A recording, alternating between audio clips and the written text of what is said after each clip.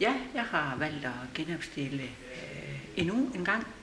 Og det har jeg, fordi at, øh, specielt det sidste år, hvor jeg har været øh, formand for udvalget for Sundhed og Social Service, har budt på så mange spændende opgaver, at jeg øh, synes, det kunne være sjovt at få lov til at um, fortsætte med at sidde i kommunalbestyrelsen. Så ved jeg jo også, at øh, det ikke vrimler med kandidater fra Brastrup, og selvfølgelig skal der være en socialdemokratisk øh, byrådsmedlem fra, øh, fra Brastrup. Ja, det forudsætter selvfølgelig, at jeg får stemmer nok til at komme ind, men øh, man skal have muligheden for at stemme på en øh, lokal kandidat derude.